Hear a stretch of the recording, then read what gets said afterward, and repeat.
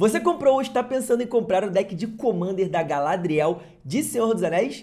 Então vem comigo porque esse aqui é um guia cheio de dicas de como melhorar o seu deck. Lembrando que esse aqui é o primeiro de uma série de vídeos trazendo várias dicas e sugestões para você melhorar todos os decks de Commander aí do Senhor dos Anéis. Então, se você também tem os outros decks ou está pensando em adquirir um dos outros decks, já se inscreve aí no canal para não perder nenhuma dica.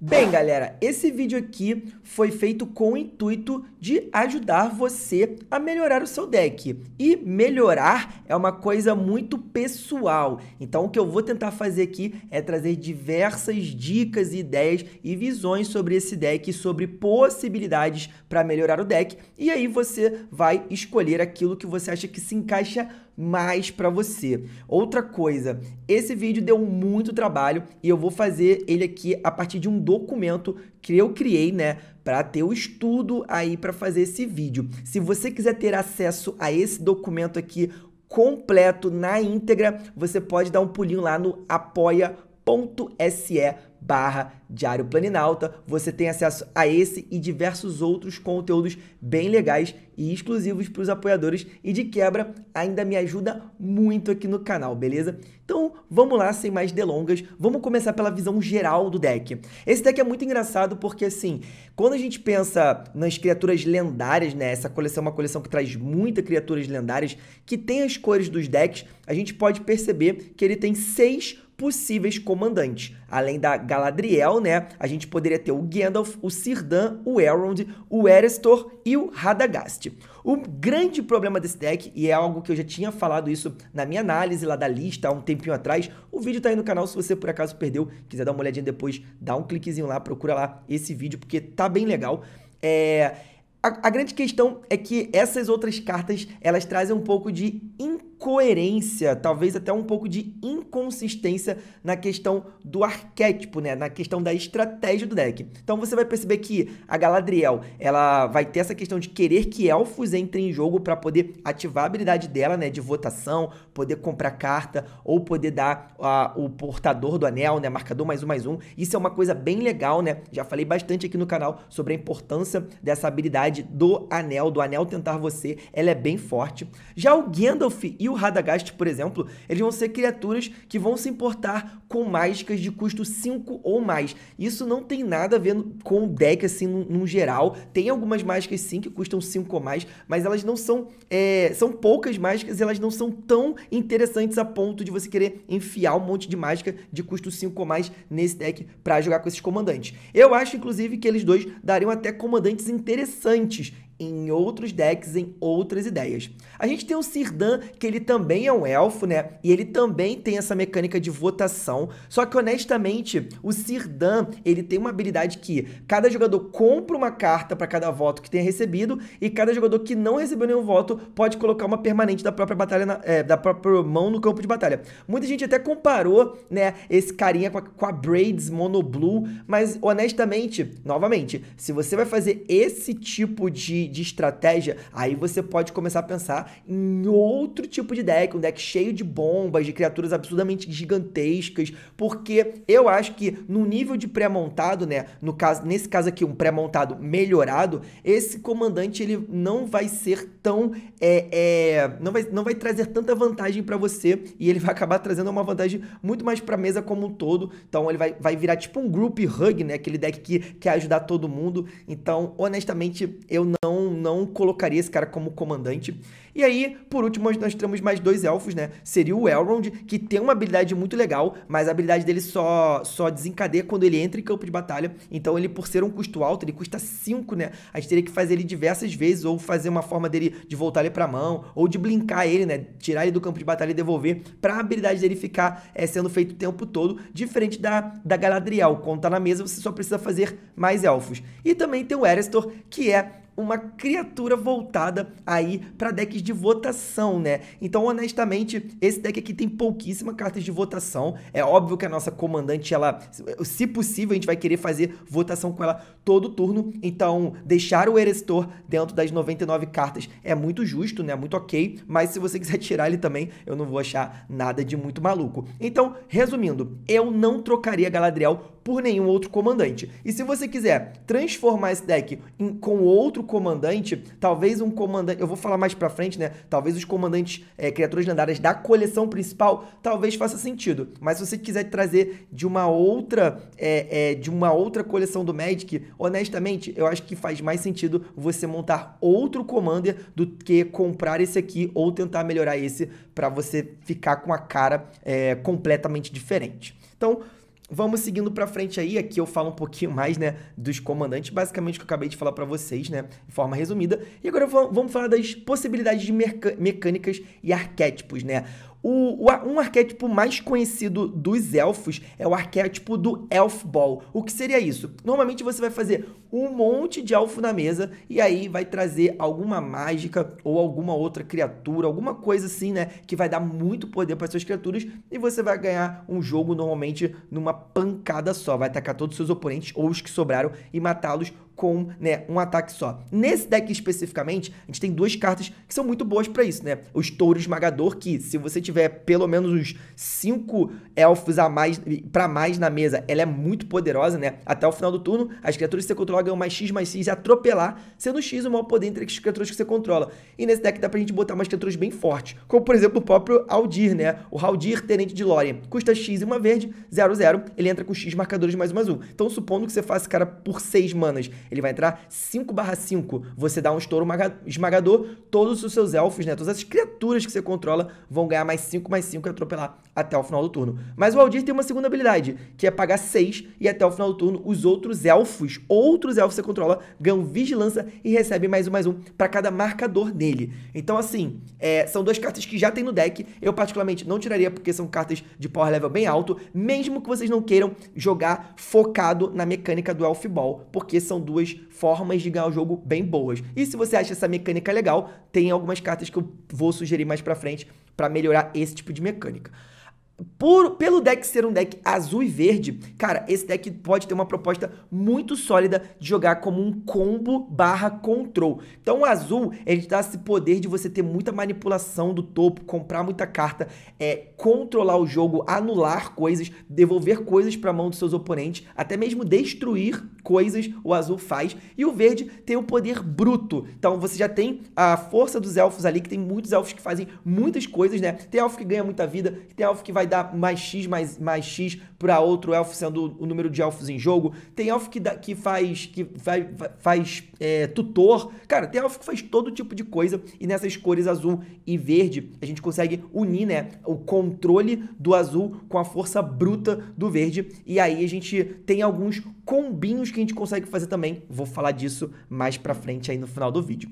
E, por último, mas não menos importante, tem aquela mecânica básica e já conhecida, que é a mecânica de marcadores mais um mais um. É uma mecânica que a gente vê que tem algumas cartas dentro do deck que já cumprem esse tipo de coisa, tem algumas cartas dentro da coleção que também trabalham com ela. É uma mecânica que eu particularmente eu acho muito batida, né? A Wizards faz muitos decks com esse tipo de mecânica, mas eu acho que é uma mecânica que não, não deve ser desprezada. É uma mecânica forte e você pode trazer para dentro do seu deck, é, talvez não uma, uma um, um, arquétipo, né? Uma estratégia principal do deck, mas você pode colocá-la como uma estratégia secundária. E para mim essas são é, as possíveis estratégias mais fortes que você pode focar em melhorar o seu deck. Então, de repente, fazer um deck bem control ali para terminar ganhando com Elf Ball, ou talvez controla para terminar com algum combo, ou talvez um controle que você vai colocando marcador e crescendo as suas criaturas. Então, fica essa sugestão aí das principais mecânicas que eu acho que vale a pena você focar nesse deck da Galadriel, beleza? Agora vamos falar sobre as cartas que eu tiraria do deck e por quê, tá? Eu separei elas em algumas categorias. A primeira categoria é praticamente inúteis. Bem, Baleia Colossal, não preciso falar, né? Se você não sabe o que essa carta faz, nem se deu o trabalho de ler. Ela é uma carta de custo 7, que só tá aqui para eu acho que para trigar né, a habilidade do Radagast e do, e do e do Gandalf, e eu particularmente são duas cartas que eu tiraria do deck, inclusive o Radagast tá aqui também, acho que não tem nenhuma, nenhum, cara, não se encaixa nesse deck. O Armadilheiro é uma carta nova que veio aí, ele é uma carta rara que, honestamente, eu não acho que ele tem uma carta, é, ele tem cara de carta rara, ele propõe um poder muito baixo pro deck, é, então eu, eu tiraria ele sem problema algum, tendo tantas outras possibilidades melhores para trazer o Armadilheiro, eu, eu tiraria tranquilamente desse deck. Temos aí o Sirdan, já falei dele, eu não gosto dessa habilidade. Ah, Thiago, eu acho muito legal essa habilidade. Não tem problema, cara. Não, assim, eu não vou julgar você se você quiser deixá-la no deck. Eu particularmente tiraria porque eu não gosto, eu não acho que o nosso deck tenha tanto potencial de baixar um bichão na mesa assim. É, enfim, e, e, ele se aproveitar disso. Acho que os outros oponentes podem se aproveitar muito melhor. Navegar para o oeste é uma mágica, né, que tem votação, é, que eu também não acho muito forte, né? Você vai votar e aí tem que escolher embarcar ou voltar. Se voltar receber mais votos, é, cada jogador devolve até dois cards do cemitério para a mão. Se, e, e se embarcar receber mais votos, é, ou ficar empatada, cada jogador pode descartar a mão e comprar 7. Se você tiver, quiser colocar no seu deck cartas que não deixam seus oponentes comprar cartas, faz até sentido. Óbvio, eles não vão votar nisso aqui para comprar carta, descartar e comprar. Não vão votar. Então, uma coisa que você deixa a opção na mão dos seus oponentes e, e ela não, não vai fazer algo que vai te favorecer muito mais do que eles. Se tem uma carta no seu deck que vai favorecer mais seus oponentes do que você, não faz sentido deixar. Ah, Thiago, não, mas não, ela favorece igual. Não, a partir do momento que você tá voltando duas cartas do cemitério e seus oponentes, cada um estão voltando duas também, eles, no total é seis cartas contra duas suas, né? Pense nisso. A mesma coisa é o draw. E tem essa, essa terceira carta que é a Oferenda Silvestre. Ela é um feitiço, eu não gosto muito dessa carta. Você escolhe um oponente e você e ele cria uma, cria uma ficha de criatura ente X barra X e escolhe outro oponente, ou mesmo, e você e aquele oponente cria um X, X de guerreiro elfo. Essa carta pode ser muito boa, novamente, quando você tem essa estratégia do Elf Ball, o Elf Ball. Então você vai dar um bichão para um oponente, vai botar um bichão na mesa, vai dar vários elfinhos para outro oponente e vai botar vários elfinhos na sua mesa. E aí você vai jogar uma mágica ali e vai crescer todos os seus bichos, atacar, causar muito dano, estrago, mas isso é um feitiço. Se você tiver no seu deck como fazer formas de fazer isso aqui virar uma mágica instantânea, e existem várias formas, tem terreno, tem o próprio Gandalf azul da coleção que pode fazer isso também, aí tudo bem, eu até deixaria essa carta. Mas no, no seco, analisando só por ela, eu não deixaria, eu tiraria. E aí, temos aí as três últimas que eu acho que eu tiraria também facilmente, né? Semente da Renovação é uma mágica de custo 7. Você provavelmente vai pagar 4, não 7, para devolver duas cartas do seu cemitério para sua mão e depois exilar ela. Eu acho que tem cartas muito melhores para fazer a mesma coisa. É... Ou se você de repente nem tiver tão interessado em recurso de cemitério, você pode botar outras coisas melhores. Tem o Celeborn, né? Custo 433. Ele tem uma sinergia com Vidência. Vidência é uma mecânica muito forte nessa coleção dentro dos elfos azuis e verdes, né? Então, talvez é, vale a pena deixar para você ficar trigando essa evidência. Vale a pena se você for focar é, nesse tipo de mecânica. Eu vou falar mais, mais pra frente algumas sugestões de coisas para entrarem no deck, e aí vocês é, podem pensar, ó, oh, mas aí o, o Celeborn faria sentido. Sim, beleza, se vocês forem por esse caminho, talvez deixar o Celeborn faça sentido. Eu tô deixando aqui as minhas sugestões de cartas que eu tiraria. E por último, Visão Longíqua. É uma carta que eu vi pessoas achando ela muito boa, né? Mas, cara, Vidência 3, depois de revelar o card do topo, se for uma criatura, você compra uma carta. Você praticamente vai comprar uma, uma, uma, carta, né, nesse deck. Mas assim, você tá jogando de azul, e aí tem tanta coisa azul boa que você pode melhorar. Eu só deixaria ela nesse deck se você quiser realmente deixar ela nessa temática de evidência. Se você não quiser colocar fora é, cartas de fora da coleção do Senhor dos Anéis, e aí você não encontrar um slot melhor dentro da coleção para colocar no lugar dela. Aí eu deixaria a visão longínqua élfica.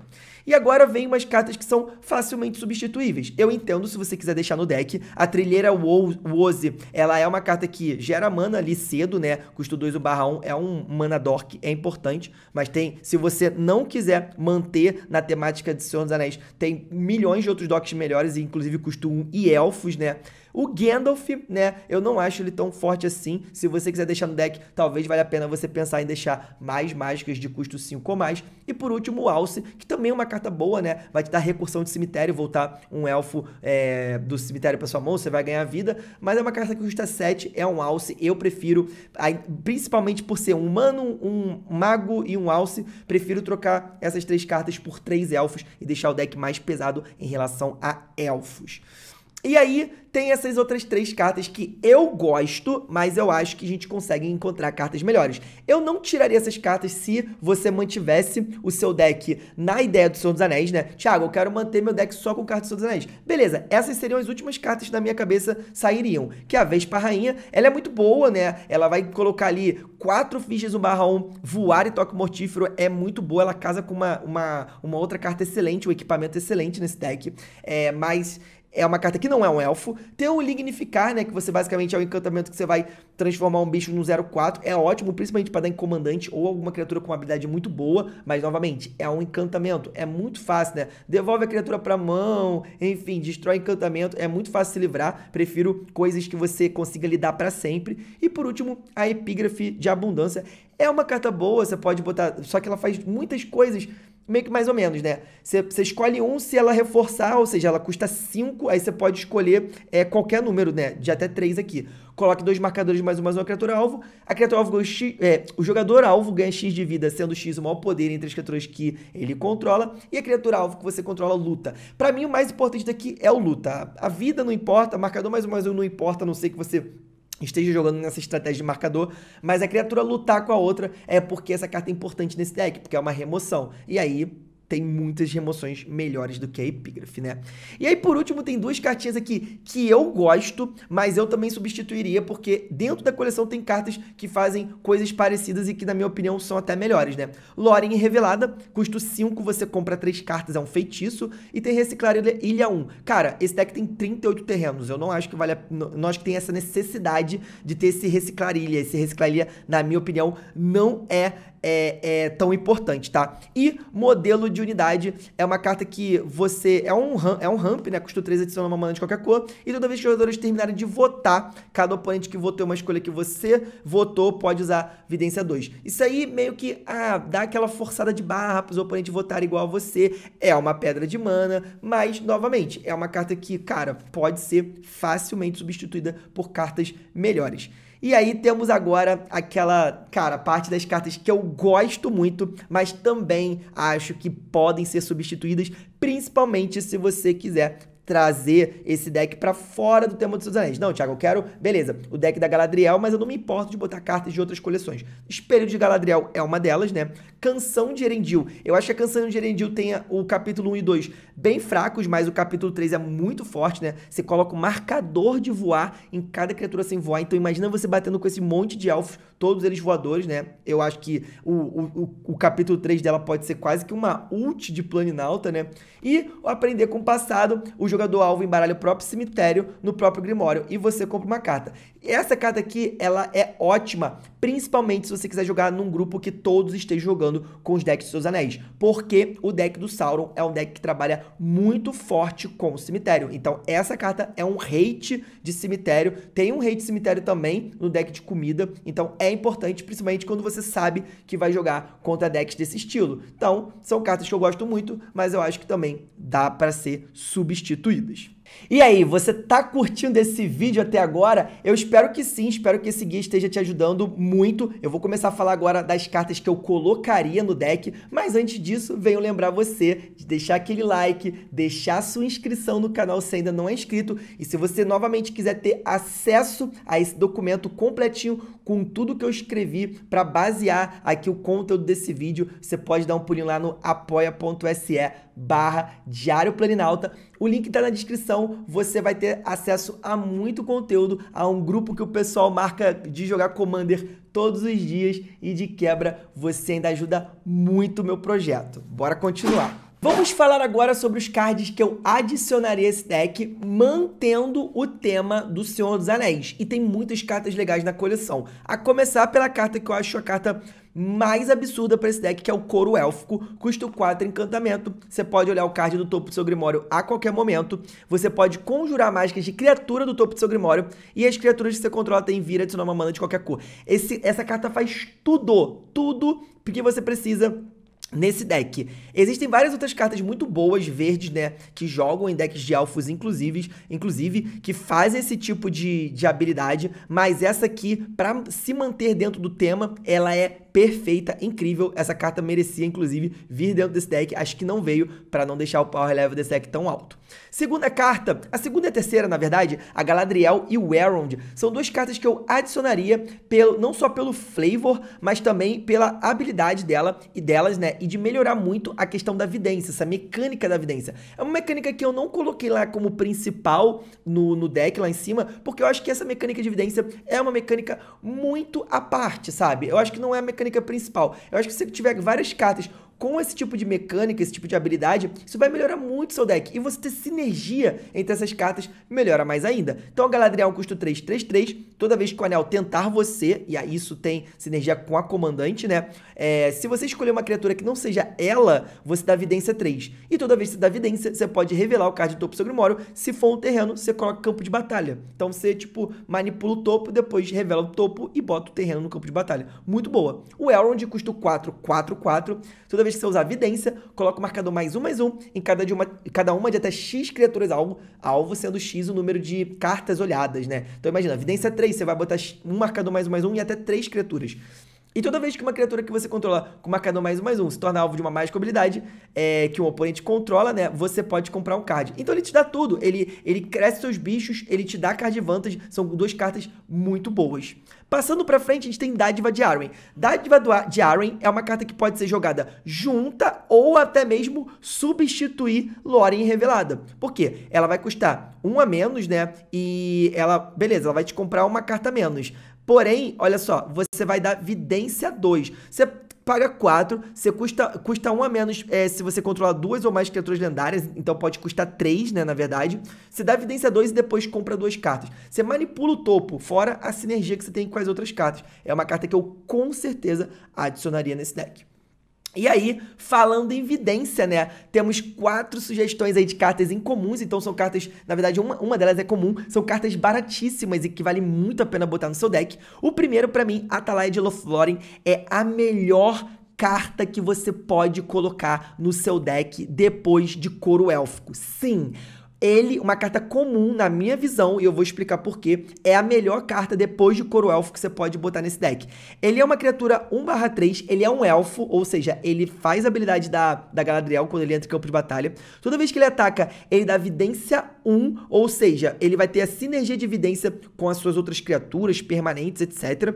E ele é um ótimo portador do anel, porque ele sendo 1/3, vai ser difícil matar ele, né? Porque, como só pode ser bloqueado por criaturas com poder um, é, pelo menos no começo ali, depois que ele começar a ganhar marcador aí, aí ok, ele vai começar a crescer, mas no começo ele vai ser uma criatura muito difícil de ser bloqueada, né? E ele vai, vai ter essa habilidade do anel de uma forma muito boa, porque você primeiro você vai dar vidência e aí depois você pode fazer o, a compra e o descarte, que é a segunda habilidade do anel. Então para mim a Talai de Lothlórien é uma carta muito forte nesse deck. E depois vem o, o Elrond, toda vez que ele e outra criatura entram no campo de batalha, você dá vidência 1, se for a segunda vez que a habilidade é resolvida, o anel tenta a gente. O Ariel, né? É, custa 222. Toda vez que você usar a evidência, coloca marcador mais uma criatura alvo, você paga 6 da evidência 2.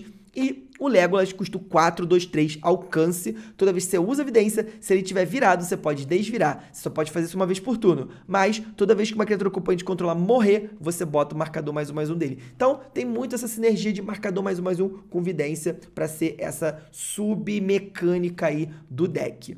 Passando pra frente, tem essas três cartas que eu gosto muito, né? Se você vai jogar Convidência, o chamado da Ilha Perdida é uma ótima carta para você colocar no deck. É o encantamento de custo 2, que toda vez que você usa evidência, você coloca um marcador diverso. E aí você pode pagar 6, exilar ele e comprar uma carta para cada marcador. Se ele tinha 7 ou mais marcadores, você joga um turno extra. Então imagina você pagar 6, comprar 7 cartas e jogar um turno extra. E você pode fazer, é, só pode fazer isso como feitiço, né? Mas de qualquer forma, normalmente você vai ter muita mana e ainda vai te sobrar mais mana para fazer mais coisas. Se você vai jogar Dividência, essa carta é uma carta interessantíssima. Por mais uma carta encantamento, né? Só que é uma saga. Pergaminho de Isildur é uma carta que eu gostei muito desde que eu vi ela pela primeira vez. Joguei ela no meu. É, no, no, no Arena, no selado, achei ela ótima. Quando ela entra em jogo, você ganha controle de um artefato enquanto controlar ele e o anel tenta você. Isso no mesão de Commander é muito bom. Você rouba só ring, só rouba. Sei lá, rouba uns artefatos fortes, né? É, pode roubar até uma comida, um tesouro, sei lá. O tesouro pode sacrificar, né? A comida não, porque se o oponente não tiver mana para sacrificar a comida, você fica com a comida do oponente. Depois você vira até duas criaturas alvo e coloca o marcador de atordoamento. Então você dá uma segurada, de repente, em duas criaturas de, algum, de alguns oponentes que estejam né, perturbando. E por último, você compra uma carta para cada criatura virada que o oponente alvo controla. Então tem uma possibilidade de você comprar pelo menos aí duas cartas ou até muito mais. É uma cartinha que eu acho bem interessante. Depois temos aí o Gandalf, já falei sobre ele, né? Ele é um custo 4, 2, 4 lampejo e as mágicas de feitiço você pode usar como lampejo. Então se você for colocar, se você for deixar no seu deck bastante carta de feitiço, e nesse deck já tem algumas cartas de feitiço legal, mas se você quiser adicionar mais cartas de feitiço ainda, o Gandalf é uma carta bem interessante para colocar dentro do seu deck, aumentar o power level e não perder o flavor do Senhor dos Anéis. Caso você queira colocar ainda mais cartas, ah, Thiago, eu, eu tenho muita muita carta aqui que eu quero tirar, que eu não gosto, etc e tal. Sei lá, além das cartas que eu falei, talvez você tenha outras cartas que você não goste. Tem duas aqui, é, adições extras, né? Uma é o estandarte do vitorioso, custo 5, quando dentro do campo de batalha você escolhe uma criatura. As criaturas do tipo escolhido recebem mais um, mais um, e toda vez que você conjurar uma mágica do tipo escolhido, você compra uma carta. Card de vantagem. Esse, esse estandarte, ele não vem na coleção normal, ele vem em outro deck de Commander. Então, você pode aí adquirir ele avulso, né? É, em alguma loja, de preferência na Epic, epicgame.com.br.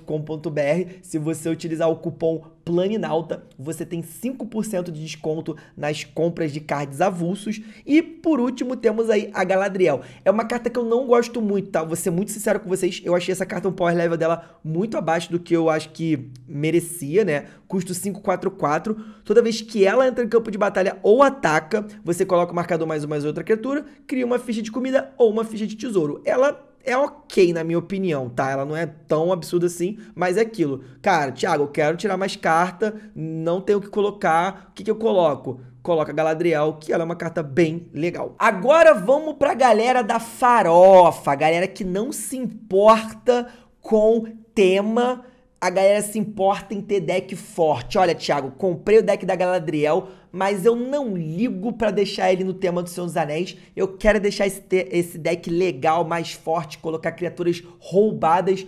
Como que eu faço isso? Bem, agora vem essa sessão aí de cartas que podem melhorar e melhorar muito o seu deck, porém elas estão fora do tema do Senhor dos Anéis, tá? Eu separei por algumas sessões, e aí eu vou a, falar aí é, de cada uma delas por, por divisão, que seria geradores de mana. Então você tem cartas como é, Priest of Titania, Marwyn, Canalizador de Ironwood. São, são três cartas aí que vão adicionar muita mana para você, conforme a quantidade de elfo em jogo, conforme o poder dela, conforme o número de elfos no campo de batalha. Então são cartas aí bem fortes se você quiser brincar, né, de fazer um elf ball com bastante mana. Essas cartas podem te ajudar. Ah, Thiago, eu gosto de fichas. Então você quer encher a mesa mesa de ficha, essas três cartas aqui são perfeitas, né? Tem a Imperial's Perfect, né? Perfect, dá mais um, mais um pros outros elfos, então ela, além disso, ainda cresce seus outros elfos, e você paga um, vira ela, cria uma ficha de, de elfo guerreiro 1 barra 1 tem um combo com ela que eu vou mostrar para vocês daqui a pouquinho. Mestre de caça Lisalana, custa 433. Toda vez que você conjura uma mágica de elfo, você pode criar uma ficha de elfo guerreiro. Ou seja, cada elfo que vai ser conjurado da sua mão vai entrar com um elfo a mais na mesa. E Ginete de Carcaju é absurdo, ele é um custo 6, é mais caro, né? Mas no início da manutenção, você cria uma ficha de guerreiro elfo. No início de cada manutenção. E toda vez que outro elfo entra em campo de batalha sob seu controle, você ganha uma quantidade de pontos de vida igual a resistência. Essa carta é absurda, ela tá um pouquinho mais cara, mas ela traz muito power level pro seu deck. E aí vamos falar dos marcadores mais um mais um, né? Estamos falando tanto de marcadores e, Thiago, se eu quiser trabalhar mais com marcadores, tem o Elfo Guerreiro Habitante da Travessa de Era, 2-3, toda vez que outra criatura verde entra no campo de batalha sob seu controle, coloca o marcador mais um mais um na criatura alvo. Joraga custa 1 barra 1, ele tem um multikicker, né, que é 2, você pode pagar 2 quantas vezes quiser, e ele vai entrar com um marcador mais um mais um para cada vez que ele foi quicado. Então se você pagar, por exemplo, 5, ele vai entrar com dois marcadores. E os outros elfos você controla ganham mais um mais um para cada marcador mais um mais um no Joraga. E aí, obviamente, você pode fazer ele no, na curva 3 e depois com o habitante subindo, crescendo ele, entre outras coisas, né? Por exemplo, Magistrado Imaculado, você paga 4, é, paga 4 por uma criatura 2-2 e ela vira e coloca o marcador mais um mais um na criatura alvo para cada elfo que você controla. Então imagina você pegar o magistrado, colocar, sei lá, cinco marcadores no Joraga e agora seus elfos todos têm mais 5, mais 5, né? E por último, o Master Biomancer, custo 424, que é um elfo também, por incrível que pareça. Cada outra criatura que você controla entra no campo de batalha com marcador mais um mais um adicional, que é igual ao poder dele, né? Então o poder dele é 2 e vai entrar com marcador mais um mais um. É, é, um, é uma habilidade muito parecida com uma outra carta que já tem no deck, que é a Arwen Monogreen, né? A Arwen verde. Passando pra frente aí, nós ainda estamos estamos aí no marcadores mais um mais um. Tem Spiring Call. Se você for jogar com essa mecânica fortemente, né, no deck com bastante marcador, não tem como você não colocar Spiring Call.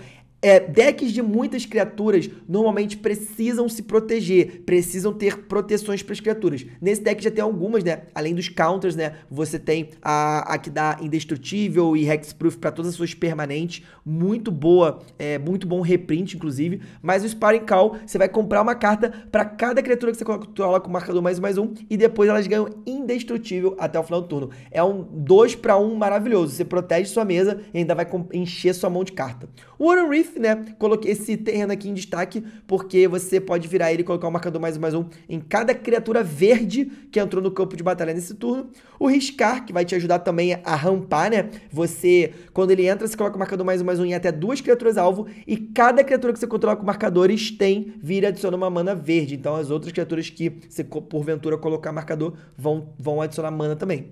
E o mago da guilda Zamek, custo 222, você pode pagar uma azul e uma verde, e nesse turno cada criatura que você controla entra no campo de batalha com marcador mais um mais um adicional, ou paga dois, uma azul e uma verde, remove o marcador mais um mais um de uma criatura que você controla e você compra um card. Uma ótima forma de comprar cartinha, né? Agora vamos para peças de controle. Aqui eu não vou me delongar, tá, família? Você está jogando de azul e verde. Você tem a possibilidade de colocar aí no seu deck o máximo de, de cartas possíveis para ter o controle da partida. Você precisa, obviamente, pensar mais ou menos na proporção, é, quantas criaturas você quer ter, né? Se vai ser, vai ser um deck bastante é, é, forte em relação à criatura, a elfos. Pô, vou ter 30, é, vou ter 30 criaturas, beleza. Então vou ter ali um espaço talvez de 20, 25 mágicas. Ou não, pô, vou diminuir um pouquinho, vou botar 25 elfinhos que são importantes e tal. E aí vou encher o deck mais de, de de controle mesmo, né? Vai muito depender da mecânica que você quer deixar, de qual tipo de, de arquétipo, né? De estratégia você vai querer adotar como estratégia principal do deck. Mas aí, passando aqui rapidamente, né? É, eu não, obviamente que eu não vou botar todas as, as cartas é, que poderiam, mas eu botei as minhas favoritas. Cyclonic Rift, né? Inclusive vai entrar no Arena aí essa carta também. Tem vídeo aqui no canal falando sobre isso. É uma carta cara, mas é uma carta muito boa. O, a, a Rapid Hybridization, né? É, destrói a criatura alvo, então, pô, pode destruir Commander, pode destruir alguma criatura chata que esteja na mesa. And Grip é maravilhosa, né? Destrói artefato ou encantamento e tem Split Second, então ela não pode ser respondida enquanto estiver na pilha. Reality Shift, que exila criatura, então resolve bem, né? Criatura que não pode ser destruída, por exemplo. E gosto muito desse carinha aqui, que é um elfo lagarto mago, custo 4. Quando entra, quando entra em campo de batalha, você pode anular a mágica alvo. Maravilhoso, né? Você bota um elfo, bota uma criatura e ainda anula uma mágica. Muito, muito, muito bom. E como você está jogando de azul e verde, as opções de card vantage são absurdas. Coloquei. Tem muito. Novamente, tem muita carta que faz esse tipo de efeito, igual Puxar do Amanhã e golpe de gênio. Mas para mim são as minhas duas favoritas, né? Paga X e 2 ou paga X e 3 e o jogador alvo compra X cartas. Se você tiver bala na agulha ou tiver sobrando aí na sua pasta, um Ristic Stud é uma ótima pedida também. Carta chatíssima, mas que aumenta bastante o power level do seu deck. O Projeto Guardião, toda vez que uma criatura que não seja token entrar em campo de batalha sob seu controle, se não tiver outra criatura é, que você controla com o mesmo nome ou no seu cemitério, você compra uma carta. Então você vai sempre, né, no Commander, você vai sempre fazer um bicho comprar uma carta, que é o mesmo caso do, do Beast Whisperer, né? É um custo 4, 2, 3, toda vez que você conjura uma mágica é, de criatura, você compra uma carta. O Edric é maravilhoso, porque o Edric, ao contrário lá do Sirdan, ele vai te dar aquela, aquela mecânica de group hug, né? De, ah, vamos ser amigos, etc e tal, mas ele vai dar muita ele vai dar uma vantagem dupla para você. Ele diz o seguinte, toda vez que uma criatura causa dano de combate a um de seus oponentes, o controlador dela pode comprar uma carta. O que, isso quer dizer? Você vai bater nos seus oponentes e vai comprar carta. Os seus oponentes vão querer bater nos seus oponentes para comprar cartas também. Ah, Thiago, mas comprar carta é ruim. É, mas eles não estão batendo em você, pelo menos. Então, eu gosto muito do Edric. Ele é um elfo e tá nas cores do deck. Outra elfa maravilhosa é a Hashimi, né? Ou Hashimi, custo 4, 2, 3. Toda vez que você conjurar a primeira mágica, em cada turno, você revela uma carta do topo Sigmório. Se não for um terreno e tiver o custo de mana convertido menor do que a mágica que você conjurou, você pode conjurar ela sem pagar o custo de mana. Se você não conjurar, você coloca na mão. Ou seja, é ganha-ganha. Ou você conjura a mágica e aí você, cara, faz duas mágicas pelo preço de uma, ou você não só conjura uma e, e compra uma carta. Basicamente é isso. Leaf Crowned Visionary, custo 2, 1 barra 1. Outros elfos você controla ganham mais 1, mais 1. Toda vez que você conjura uma mágica de elfo, você pode pagar 1. Se fizer isso, compra uma carta. Temos o Retorno do Outspeaker, né? Que é uma carta um pouquinho mais, mais barata, né? Mais plausível, né? Se você não tiver tanta grana para gastar, você vai pagar 5 e você vai comprar cartas igual maior poder entre os não humanos você controla, ou você vai dar mais 3, mais 3 para todos os humanos. Então ela tem uma função dupla, e eu gosto muito de cartas desse tipo. No momento que você precisar de comprar carta, você, sei lá, tá com um bicho na mesa, um bicho 3 um bicho 3-4, um bicho 5-5, um bicho 6-6, você vai comprar bastante carta, né? No momento que você tiver com a mesa cheia, se você quiser finalizar o jogo, você vai dar mais 3, mais 3 pro bonde, vai bater e vai ganhar o jogo. Por último, tem uma carta que eu acho engraçadíssima, não é elfo, mas faz todo sentido se você for focar no deck nessa questão de evidência, que é o Eliget, Eliget, não sei o nome dessa carta. Custo 656 voar. Se você fosse dar vidência, você, ao invés disso, compra aquela quantidade de cartas. Então, tudo que a gente falou lá de vidência, né? Vidência 1, vidência 2, vidência 3, com essa carta na mesa, você não dá vidência, você simplesmente compra, compra, compra, compra. E é isso, sabe? Muito boa, interessante. Nesse caso aqui, eu é, essa linha do meio é uma linha que eu recomendaria muito, né? Colocaria todas essas cartas no meu deck se eu estivesse jogando com o deck da Galadriel e não me importasse com o tema de Senhor dos Anéis. Vamos falar agora sobre Overrun, que é inclusive um nome de uma cartinha que tá aqui, que é basicamente a gente brincar, né, é, de atacar nosso oponente num turno só com um poder absurdo, eles não poderem fazer nada e a gente ganhar o jogo. É, são cartas que vão é, aumentar o poder das nossas criaturas e muitas vezes dar, é, atropelar, né? O que dificulta ainda mais o bloqueio. Então a gente vai ter Overrun, que dá mais 3, mais 3 atropelar, Biomass Mutation, que dá o, o poder base né, das criaturas é, X barra X. Tem o Exuri, que você vai pagar é, muita mana para dar mais 3, mais 3 atropelar, mas com alguns elfos que a gente já mostrou aqui, é muito fácil, né? Fazer isso. E a gente tem os dois famosos porcos aí, né? Que na verdade é um, é um javali e uma besta. O Kraterhoof é uma carta icônica do deck de elfos. Ele inclusive joga é, em, em, decks construídos de 60 cartas, né?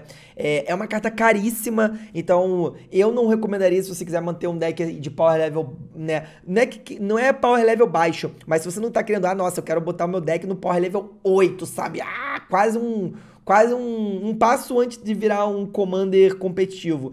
Então eu não recomendaria você gastar tanto dinheiro com o Quarter Roof, a não ser que você já tenha ele, mas o Pioneiros do Arrasamento Final é uma ótima alternativa. Ele tem o mesmo custo, né? Mas ao, ao invés de dar mais X mais X, sendo X o número de criaturas que você controla, ele vai dar mais 2 mais 2, vigilância e atropelar até o final do turno para as outras criaturas. Querendo ou não, mais 2 mais 2 e atropelar já é o que a gente quer. Passando para frente, temos nossa seção de recursão e tutores. Então temos o chamado do acorde, que você consegue buscar uma criatura do seu, do seu Grimório e colocar no campo de batalha. Tem o, o empático feroz, se eu não me engano, quando entra você busca por uma criatura com custo de mana convertido 6 ou mais, ó, ó, ó, ó, ó, busca a nossa win condition. Tem a Elvish Harbinger, quando entra você procura por um card de elfo, coloca no, no topo do seu grimório. Tem o Realm Breaker, que não é um elfo, mas é um elfo, porque ele é um Changeling, e eu particularmente coloco essa carta todos os decks que eu tenho, que tem a ver com o tipo de criatura, são decks tribais, né? E, e tem verde, eu coloco o Realm Break, eu acho essa carta ótima. E por último tem o Balagad Recovery, eu até falei disso de outras cartas, né? Se você quer recursão de cemitério, cara, é, Balagad Recovery é muito boa, porque se ela vier na sua mão no começo, você usa ela como terreno, né? Já falei aqui no canal também, se você não conhece as cartas modais, procura aqui no canal porque tem um vídeo falando sobre essas cartas e são as melhores cartas para você usar nos seus decks de Commander. São cartas que se vier na sua mão no começo do jogo e você precisar de terreno, elas entram em campo de batalha como terreno, mas se você tiver no, no meio do jogo, pro final do jogo, tiver bastante mana, já bastante terreno, você pode usar elas como mágica. Então Balagad Recovery é muito boa por causa disso. E aí a gente vai pra partezinha aqui que a galera mau caráter gosta muito, né? Não tem como deixar de fora aqui combos. Eu não, ó, eu nesse caso aqui eu não charia, chamaria de combo, mas são sinergias muito fortes. Por que eu não chamo de combo? Para mim, combo é quando você faz algumas peças e ganha na hora. Quando você faz uma sinergia muito forte que te coloca muita vantagem no jogo, ou, te, ou você precisa de mais outra coisa para vencer, para mim isso não é um combo. Combo é quando você junta as cartas e ganha o jogo. Acabou, ponto final. Então, por exemplo, se você tiver no seu deck aí o Elvish Champion e a e, e Ave Maia, berço de crescimento, você vai transformar todos os terrenos no campo de batalha em floresta também, né? no caso, é, é, é, é um tipo de floresta em adição ao seu tipo. Então seus oponentes, os terrenos dos seus oponentes vão ser florestas também. E o Elvis de Champion vai dar mais um, mais um e travessia de floresta. É uma mecânica, né, uma habilidade que a gente não vê no Magic há muitos anos. É uma habilidade bem antiga do Magic. E travessia de floresta, basicamente, é que suas criaturas com travessia de floresta não podem ser bloqueadas se os seus oponentes possuírem florestas. Então é isso, você junta os dois, seus elfos agora estão imbloqueáveis. Então com os dois na mesa, você consegue bater muito sem ser bloqueado. E o outro combo aqui, barra sinergia muito forte, eu já tinha falado, né? Imperious Perfect, paga um vira, cria um elfo, né? Uma criatura de um elfo barra um na mesa. Se você tiver o Intruder Alarm, né? Que, se não me engano, acho que é alarme de intrusos, que é o um encantamento que diz: as criaturas não desviram durante a etapa de desvirar dos seus controladores. Só que toda vez que uma criatura entra no jogo de batalha, você desvira todas as criaturas. Ah, Thiago, vou desviar dos oponentes também. Sim, mas você vai pagar um, fazer uma ficha desvira todos os seus bichos. Lembrando que você vai ter na mesa, ou pelo menos vai precisar, né, da mesa, ter formas de você, outras criaturas que geram mana, por exemplo, ou algum encantamento, alguma coisa que faça seus, seus bichos gerarem mana para você, porque só os bichos desviram. Então, se você pagar todas as manas dos terrenos, os terrenos não vão desvirar. Então, o potencial de fazer isso aqui infinitas vezes é muito grande. E aí você fala, ah, Thiago, mas e aí? É, e aí você vai ter que ter um jeito, né? Você pode fazer no passe, por exemplo, e no seu turno atacar com tudo. É uma forma de se ganhar o jogo de uma hora para outra. E, por último aqui, queria deixar uma cartinha extra, que eu já até falei dela, né? Mas eu quis trazer aqui para vocês também. O Timberwatch Watch Elf ele vira e dá mais X mais X até o final do turno, onde X é o número de elfos no campo de batalha. Por que, que ele é tão legal? Porque às vezes você pode ganhar de repente com a própria Galadriel atacando, não sendo bloqueada, de repente por, causa de ser portadora do anel, ou até um, outro portador do anel, você tá com uma criatura, sei lá, 1 barra 2, 1 barra 1. Seus oponentes não tem nenhuma criatura de, de poder 1. Você ataca imbloqueável, você vira o Timberwatch, dá um milhão de poder para sua criatura e aí você pode ganhar ou pelo menos matar alguém de uma hora para outra. Para fechar aqui, eu tenho que falar de terrenos, né? Esse deck é um deck que tem duas cores só e por isso ele vem com uma quantidade absurda de terrenos básicos, né? É o tem 25 terrenos básicos, é, é um dos decks é o que vem mais terreno básico, se não me engano é o único que é apenas duas cores. E eu vejo assim, de cara, tem duas cartas, dois terrenos que eu colocaria com certeza nesse deck, que é Valfenda, né? Que você pode pagar dois da Evidência 2 é, se tiver uma criatura lendária, e o Terraço do Condado, que para mim é uma carta nova aí que, cara, veio muito, muito boa adição ao Commander. Eu, particularmente, colocaria, barra, colocarei o Terraço do Condado em todos os meus comandos de mais de, de, duas cores ou mais, tá? Você pode botar o Condado também. Não tem muita sinergia com o deck você criar ficha de comida, então não acho essa carta extremamente importante e relevante. Essa carta é muito mais relevante no deck de comidas, que eu, obviamente, vou trazer o guia para vocês mais pra frente, mas aqui nesse deck é uma adição interessante, ok, mas que não vai ter nenhuma sinergia com o deck. É apenas uma opção. Falando em opção, eu deixo aqui uma lista de opções aqui, tanto de terrenos utilitários quanto de outros terrenos que geram duas manas, desde de terrenos super baratos até terrenos bem carinhos, mas extremamente eficazes, que vão aumentar o power level do seu deck bastante. E, obviamente, se vocês quiserem dar uma lida com mais calma nesse documento, pegar essa lista aqui, né? Você pode dar o pause aí, depois ler com cuidado, pesquisar no Google, mas se quiser ter a lista aqui, sempre que você quiser dar uma olhada nessa lista aqui, em tudo que eu escrevi além do, disso, né? Tem muita coisa que eu escrevi para utilizar como, como base aqui do desse vídeo, mas acabei às vezes não falando, mas eu acredito que eu trouxe para vocês aí o máximo possível que eu podia e queria trazer para te ajudar no guia de upgrades do seu deck. Então é isso, esse foi o guia de upgrades para o deck da Galadriel, um deck de elfos, um deck que eu gostei bastante de jogar, tem gameplay desse deck aqui no canal já, se você não viu, saiu aí já um pouco, um dia antes desse vídeo tá saindo, já saiu o gameplay, então cola lá, vê como é que o deck se comporta. Mas assim, a minha dica final e sugestão para você que quer modificar o deck é, jogue bastante com deck, jogue com seu deck pré-montado o máximo de vezes possíveis antes dele de você querer modificar alguma coisa nele, principalmente se você for um jogador ou uma jogadora nova, para conhecer as cartas, conhecer sinergias e aí entender enxergar o que realmente você não gosta no seu deck e também poder entender e enxergar quais são os tipos de coisas que precisam melhorar no seu deck. Esse vídeo aqui é um vídeo com a minha visão, então eu trago várias ideias e sugestões para você ter aí também uma iluminação de como melhorar esse deck. Mas lembrando que o Magic, ele é sempre o aprendizado. Eu tô sempre aprendendo, quanto mais eu jogo, quanto mais eu consumo conteúdo. Então minha dica final também é para você consumir conteúdo. Tenho certeza que além desse vídeo aqui, tem alguns outros vídeos aí na internet, principalmente produtores de conteúdo brasileiros também, que vão te ajudar bastante. Se esse vídeo te ajudou, eu peço para você deixar aquele like, deixe um comentário se você acha que tem alguma outra carta que pode é, entrar nesse deck que eu não falei aqui, ou se você acha que talvez algum comentário que eu fiz não esteja muito certo, quer me corrigir, fica à vontade, deixa nos comentários. Se tiver qualquer dúvida, deixa nos comentários também. E não esquece de se inscrever no canal para me ajudar aí a nossa comunidade crescer cada vez mais eu poder trazer cada vez mais conteúdos como esse para vocês. Beleza? Então é isso, eu vou ficando por aqui. Muito obrigado por ter assistido esse vídeo até o final e até a próxima. Valeu!